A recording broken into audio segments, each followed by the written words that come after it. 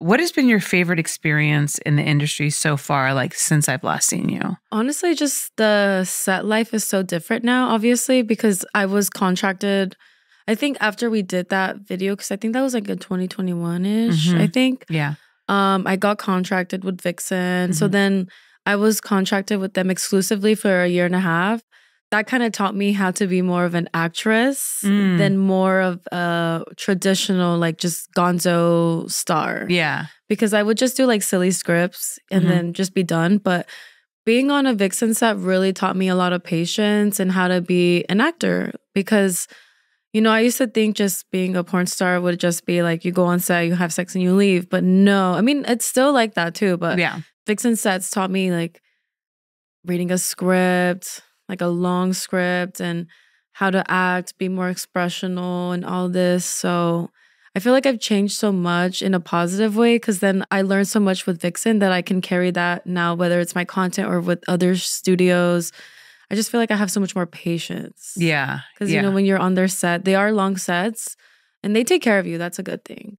But you really know what it's like to be on a movie set. yeah. Because it is a movie set. Yeah. And that's the thing. I think what a lot of people don't realize is that if you're shooting like a true cinematic piece, like everything takes time because the lighting setup takes Voice time. acting. And yeah, I mean, there's so many elements to it. hmm You know, it's not just like sticking you in a white room that's like just flat With lit, a couch. with a white couch, and then you just go for it. It's like in every, you know, moment. If you really look at a movie, it's so interesting because after I started directing, I looked at movies so differently. Mhm. Every single little fucking tiny shot that you see, it's two second shot. And you don't really register it when you're watching the movie because you're immersed and you're enjoying it. But if you pull back and look at it, like every single one of those shots took time to set up. Mhm. Different angles, Yeah. right? All that shit takes forever. But it like looks so amazing, you know? Like all of those cuts and all those different angles, like that's what builds the story. Mhm. And you don't really realize it until you're in it.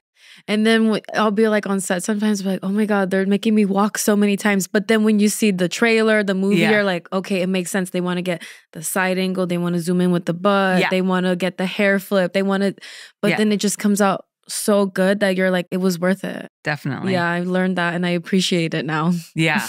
Uh, it's it's really nice to work with models who understand what that's like because yeah, days can be very long and you can definitely get girls who are like, "Why is this taking so long?" And it's like cuz like do you want it to look like a Vixen production or do you want it to look like a Gonzo thing that was shot in like your Mhm. bedroom? Like, Obviously, you got to have both. Yeah what is your favorite kind of scene to shoot by the way? Is it like a feature with acting and stuff now or do you prefer the more Gonzo or is it I like both. like both? I like to give my fans both options Mhm. in case they want a storyline Mhm. With me doing something that's not like traditional, Mhm. like a real movie, or, you know, just something where it's like, you know, or just wear some lingerie, tees, and then go straight to the sex. Like, I Mhm. like giving them both, but I love doing both. Like, whether I get booked for a long scene or a short scene, like I'm just there and I'm like, all right, let's do it. Cause I'm really going into it thinking like I wanna satisfy my fans. Mhm. Like I do it for myself, obviously. Like I Mhm. love what I do. Like I will never complain about it. Here and there I will, but it's like very like who doesn't Yeah. complain about their job? I love complaining. It's like my favorite thing. yeah, me too. I, I like complain about bills. I complain about sometimes I drink too much water. I pee a lot. Like you know, we always complain about something. But these are like good complaints. Yeah, you yeah, know? yeah. Quality problems. Yes, not first world problems, but first world problems. Basically, Yeah, yeah, Both. Um, but yeah, I just like I like giving my fans and like basically I feel like I live for them, which is not a bad thing. I it, it motivates me. Mhm. And I feel like I just I feel like that's my purpose. It's like Mhm. well, one of my purposes is to like make people happy, whether that's like doing a podcast, doing a movie, a YouTube video, like Mhm. like anything. I just feel like I do it for them, but I do it for me. Like we bounce off each other. Well, I mean, but then that's what makes you like the perfect performer, right? Because if the work that you're doing to satisfy your customers is also fulfilling for yourself, like that's the perfect combo that a lot of people don't get to have. Yeah. Like a lot of people don't f- feel fulfilled by their work.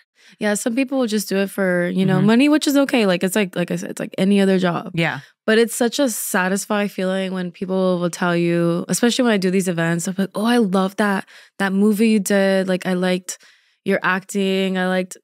Like, they don't go into details too Mhm, much, but they'll mhm. just you know, it's it's good to see it on a cover or like see people appreciate it or even seeing the views. I just hit a billion views on X videos. Oh wow. I'm almost at a billion on Pornhub. So it's like it's like it makes me like motivated because like Yeah. like I'm I know what I'm doing. Yeah, yeah, yeah, yeah. Yeah, you're definitely one cannot call you like a newbie anymore. Like you are I still feel like it sometimes. Even though I've been this year's gonna be six in Six? September. Oh, wow. Six years in September, yeah. It's gonna be 26 years from me in September. I love that. but I'm I'm not old, I swear. well, you don't look it. Thank you. So your first gangbang was released in May. hmm How did that go? And why made you decide to finally do that? I wanted to pace my career. Mm-hmm. Obviously, I didn't want to. I want to keep the fans wanting more and more. So that's why. That's just how I wanted to do my career. Everyone's free to do how they Mhm. want it. But I felt like this year was the year because the like two years ago I did my first anal. Then the next year I did my first DP. Then I Mhm. was like, okay, now I can do my first anal DP gangbang. Mm-hmm. I just wanted to pace myself, but I also wanted to be mentally prepared and physically prepared because when you're going into these scenes, your your mental has to be there because you have to remember you're in a room full of like a lot of giant dicks. Like they're not gonna give you a small dick gangbang. I could do it for my OnlyFans, but I can't do it for a scene. You Yeah, know, the yeah, movie yeah. like a production set because they want to, especially when you have a, when you're curvy, Yeah. they want to see the penetration. Yeah, yeah. I mean, that's So- the thing. Like, a lot of guys ask why are dicks so big and porn, and I'm like, a lot of times it's logistics. You have to be able to see the penetration, and there needs to be enough, like, of the dick that you can create space between yourself and the performer and open up the camera so you can see it all at the same time.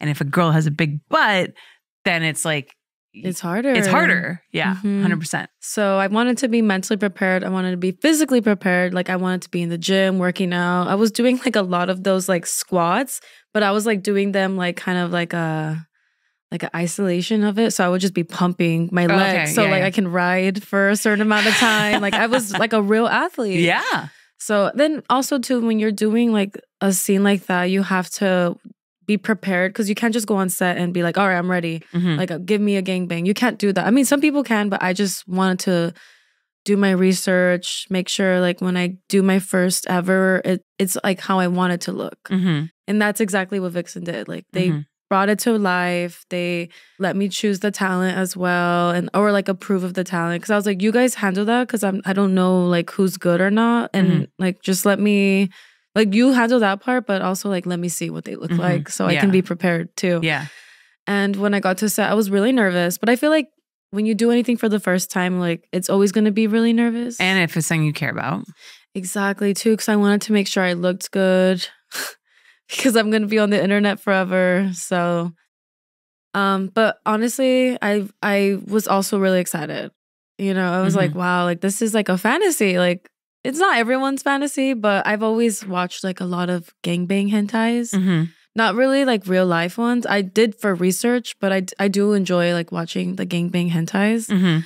So to feel because I already call myself an anime girl, so I felt like I it's I I have to do it. So Yeah. yeah. my fans can also see that too, and it was it was a very fun experience. I would definitely do it again, yeah. but I would probably have to.